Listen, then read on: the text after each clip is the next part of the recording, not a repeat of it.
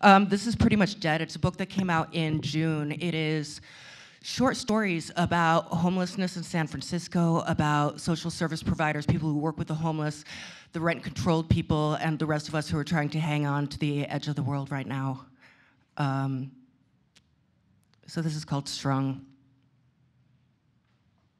Room 101. The hotel is not so big. It's not the biggest in the city, but it's not the smallest either.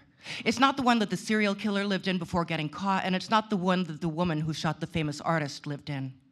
It's a different one. Room 102. The carpet does not match. Each room is different, and it's different as it staggers along the hall. Here, blocks, they're a floral pattern, they're industrial gray, all are faded to a muted gray brown. The walls are a muted brown tinged with gray. If you were to stretch out your arms, you could easily touch both walls in the hallway at once. You might not even have to extend your arms all the way out.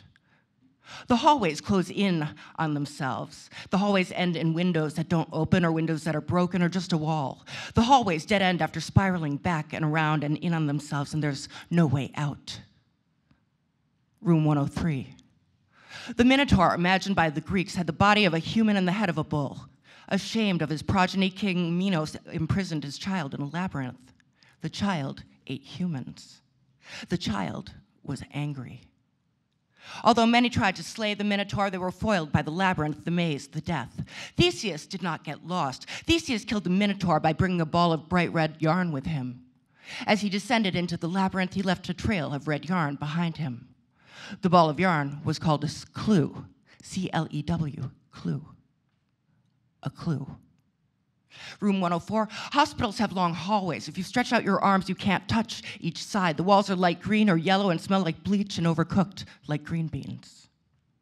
Room 105. I don't know if the hospital's a maze or the hotel's a maze or something else entirely. What it is, I know there's no way out. There's a girl on a locked ward, and there's me writing this, and there's more a letter for a Minotaur. A phone call that comes from the cops on a Sunday afternoon. There's a girl in a hotel who needs help. Room 106, can a place itself be bad? Is the ground under Auschwitz, the land itself, the brown earth that smells just like dirt, is the land itself evil? Is the land under Ted Bundy's house cursed? Was there blood spilled under the labyrinth that made it hungry for more? Is there a reason people get swallowed up or snuffed out or trapped in a labyrinth? Room 107. The girl needs help. She's a buttercup picked and left on the pavement for two days. She's been staying in a hotel room that belonged to her boyfriend, a drug dealer.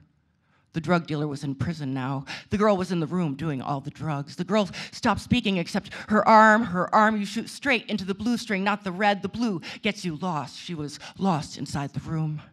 The cops came, they called us, they said, Take her. We did. It's what we do. Room 108, this is what I do. I take lost people and I give them beds in places with big rooms with many beds. The shelter is a step down from the SRO. The only thing the girl says is her name, Bess.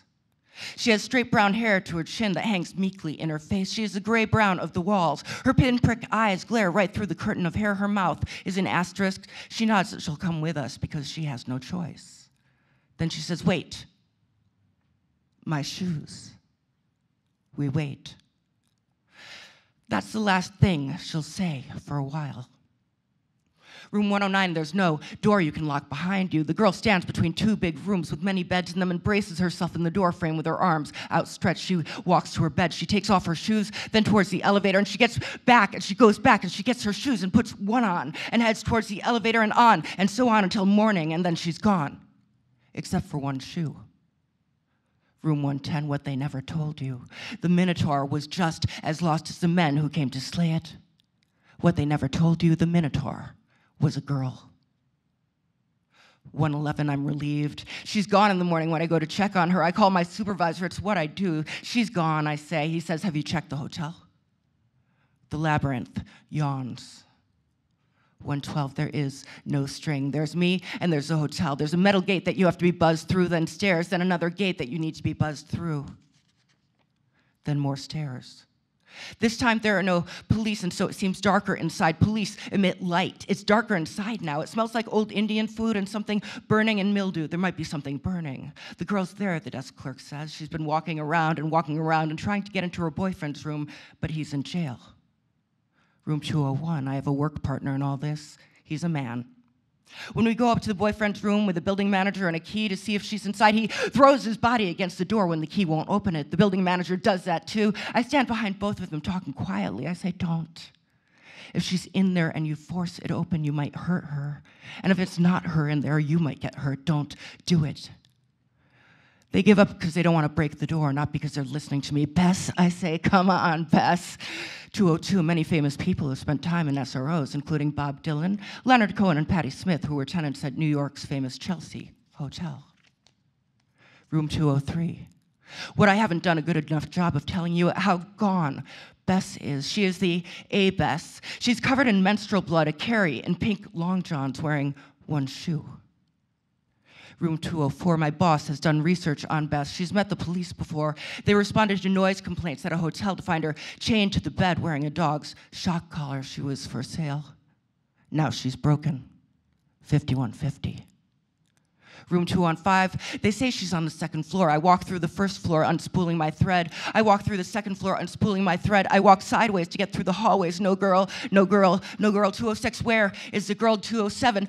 Bess 208. People shuttle in and out of rooms. Cockroaches crouch in door frames. They're the same color as the carpet. They're the same color as the smoke. The hallway smells of old Indian food, something burning and mildew. There's a man following me now. Room 209, I walk faster. The hallway gets narrower. I walk faster, left or right. She's in her friend's room, he says. I walk faster. She's in her friend's room. Room 211, I call my supervisor. It's what I do. She's in her friend's room. I say, Go in there, he says. I can't do that. I say, Why not? He asks. Room 210. It's Theseus who kills the Minotaur, but it should be noted that Theseus himself dies in exile, broken, pushed over a cliff by his best friend room 211. Here she is. Room 212, all the police and my supervisor, too. The room is so bright, it's bright nicotine all over. She's wearing long johns covered in menstrual blood and now handcuffs. Room 301. By returning to the hotel, by looking for her boyfriend, by baring her throat to the Minotaur, by being the Minotaur, by being broken, by walking around with one shoe on, wearing only a set of long johns covered in menstrual blood, by not talking. 5150. Room 302. A hotel has many rooms, and a hospital has many rooms. You have a name in a hospital, you have a number in a hospital. What do you have in a hotel?